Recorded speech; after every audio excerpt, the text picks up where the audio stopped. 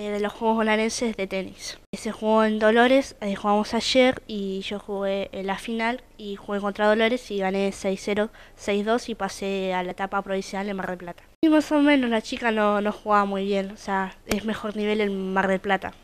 Sí, ya ahí se pone más complicado. Ahora voy a empezar a entrenar mejor, tres veces por semana, que yo entreno con mi papá, Panchi Gaboto, y estamos haciendo una parte física con mi hermano, eh, Joaquín, y nada, así poder llegar a ganar en Mar del Plata.